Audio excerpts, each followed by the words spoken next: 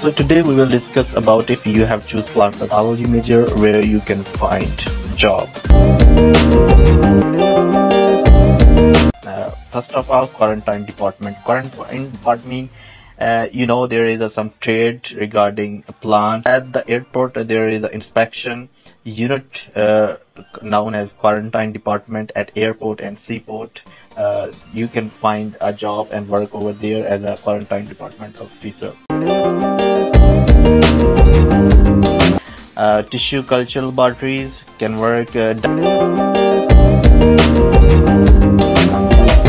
uh, seed and plant production company. Environment protection agency you can work.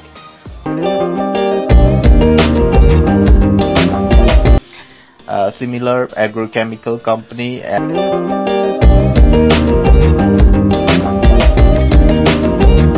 plant production plant protection research institution you can work.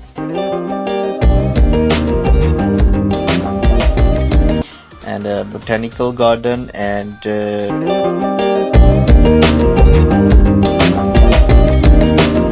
diagnostic laboratories you can work.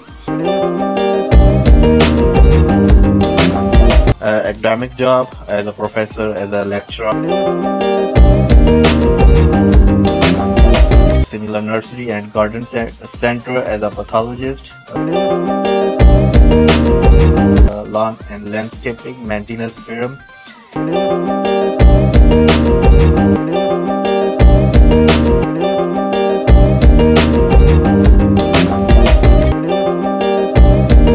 So guys, here uh, is the end of first part of this video. Stay tuned for next video and uh, if you like the